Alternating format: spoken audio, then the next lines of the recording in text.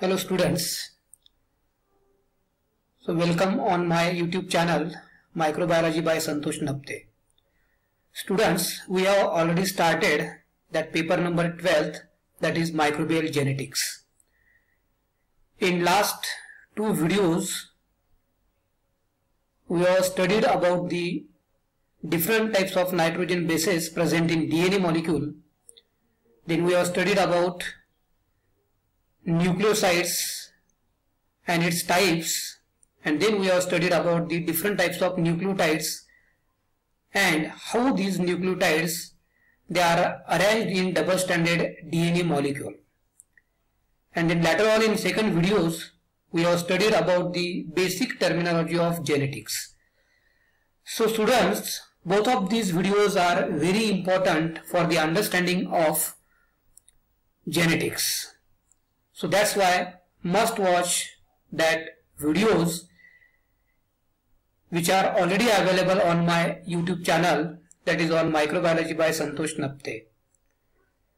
So today we are going to start unit 1 of this microbial genetics paper number 12 and the name of this unit is the genetic material. So in this topic or in this unit we are going to see about the evidences for DNA as a genetic material. So we will see here this first subtopic that is evidences for DNA as a genetic material. And in this first subtopic we will see these different experiment which are actually the evidences for DNA as a genetic material. And that one or first experiment is Griffith's experiment. Then we will see about Avery MacLeod and McCarty experiment. And the third experiment we will see in this topic is Hershey and Chase experiment.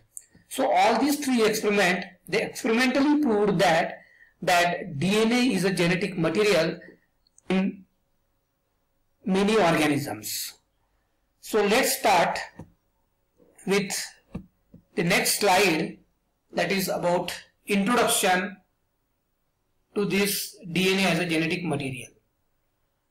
So students all of you know that Gregor John Mendel was the first scientist who studied the mechanism of genetic inheritance or he first time studied how that characters get transmitted from one generation to next generation. But he does not discover that the chemical nature of that hereditary material and it remained unknown for many years.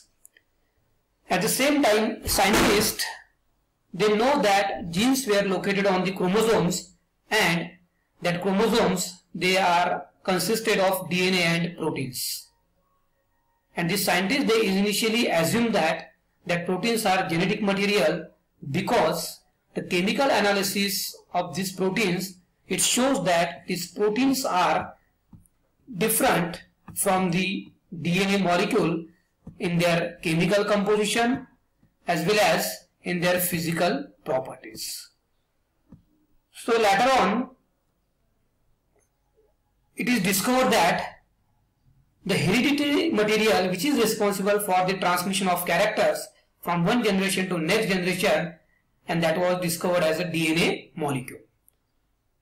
So this discovery of DNA as a genetic material, it is resulted from the series of many experiments which shows that that DNA molecule, it is actually responsible for the transmission of characters from one generation to next generation and whatever this discovery is here, it is resulted due to the experiments on bacteria as well as on bacteriophages.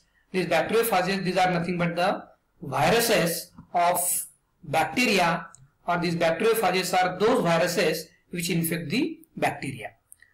And together these experiments on bacteria as well as bacterial viruses, they demonstrated that DNA get transferred from one generation to next generation and this DNA itself has the ability to transform the properties of a cell as well as to control the cellular functions. So this is the general introduction about this.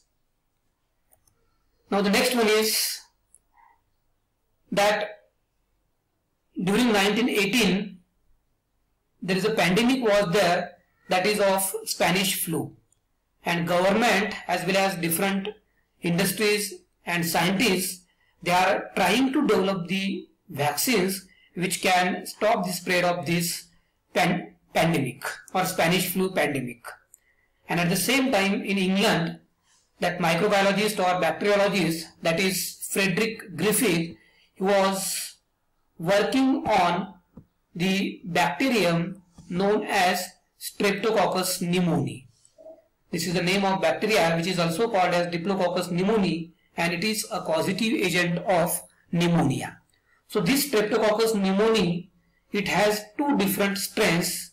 One is virulent strain and another one is the non-virulent or non-pathogenic.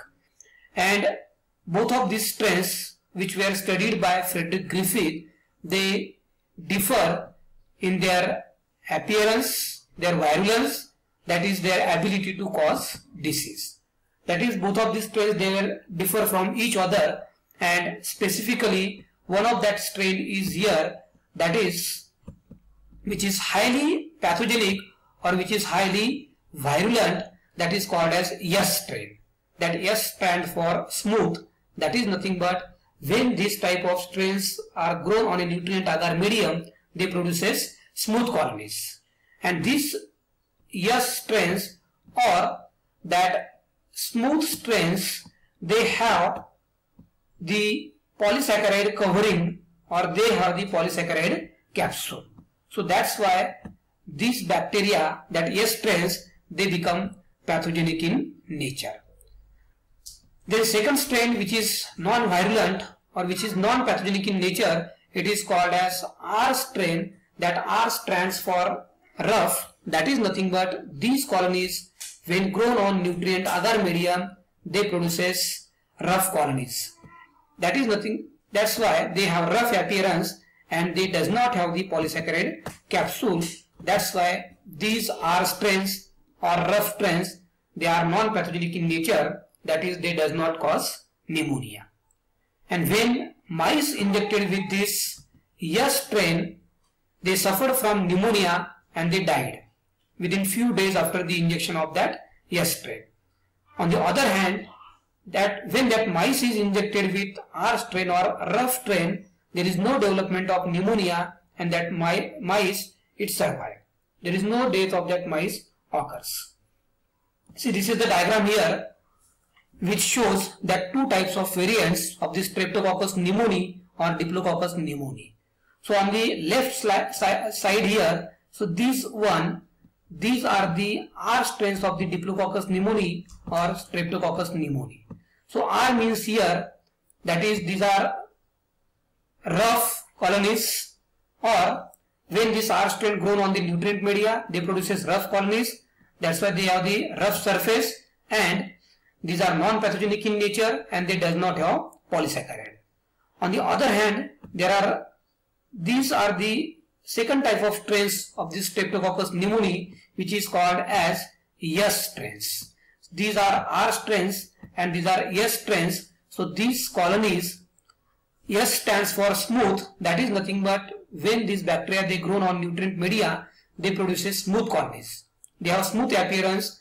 They produces polysaccharide capsule and these are pathogenic in nature. That is they can cause pneumonia.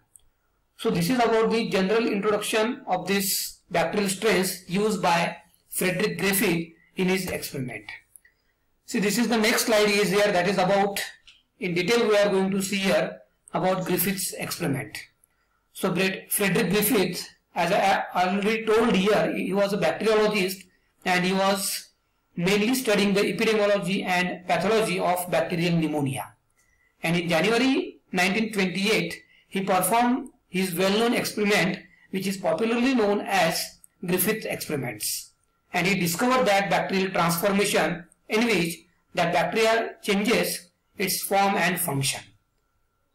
And that Frederick Griffith, he experimentally showed that the Streptococcus pneumoniae which is a causative agent of pneumonia, it get transformed from one strain that is from R strain or rough strain to another form of strain that is S strain or smooth strain. And at that time, the transforming principle or the transforming factor, it was not discovered. So that's why that Frederick Griffith, he just given the name to that factor which is actually responsible for transformation of R strain to S strain and he called it as a transforming factor or he called it as a transforming principle. So this is the basic information about Frederick Griffith. He was born in 1877 in Prescott, England, died in 1941, London, nationality was British, then occupation was, he was a physician, pathologist and bacteriologist and he was well known for his discovery of pneumococcal transformation. So the next point we will see here that again Frederick Griffith's experiment, it will continue here and so whatever that experiment was conducted by Frederick Griffith that was conducted on mice and he used two variants of the bacteria Streptococcus pneumoniae. So these are the material we can see here which is used by Frederick Griffith in his experiment. The first one are the two strains of this Streptococcus pneumoniae. The one is Layou smooth strain or which is called as S strain which is pathogenic in nature that is it is virulent and it produces polysaccharide capsule. So it is known as S because when it is grown on nutrient media, it produces smooth surface colonies. Second strain is Layou strain that is rough strain or which is also called as R strain. It is non-pathogenic in nature. It does not produces polysaccharide capsule or it does not cause pneumonia. And it is known as R because when it is grown on nutrient media, then it produces rough surfaced colonies. Then third one which is used by Frederick Griffith is heat killed rough strain.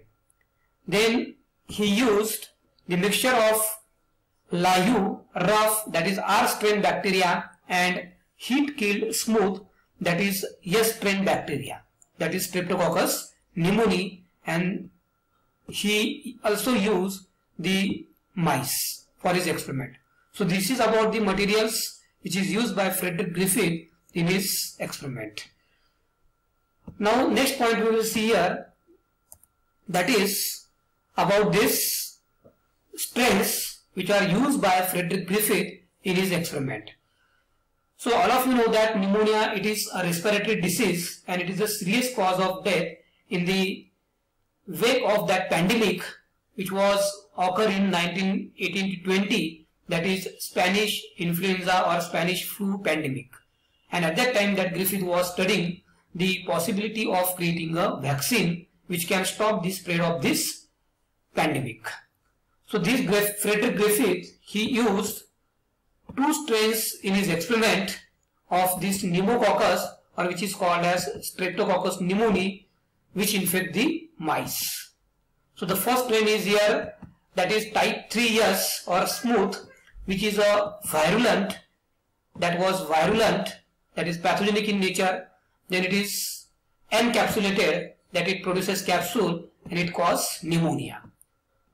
Second one is here that is type 2 or rough strain which was non-virulent it is non-encapsulated and it does not cause pneumonia. And the third S strain synthesize a polysaccharide as I already told here that protect itself from the host immune system and therefore which causes the death of that host that is of mice.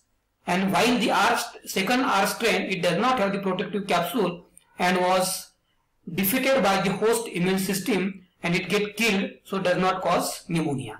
So Griffith established that the virulence of the S strain, it was destroyed by hitting the Streptococcus pneumoniae or that bacteria. So in next slide we will see that is about the Griffith experiment again in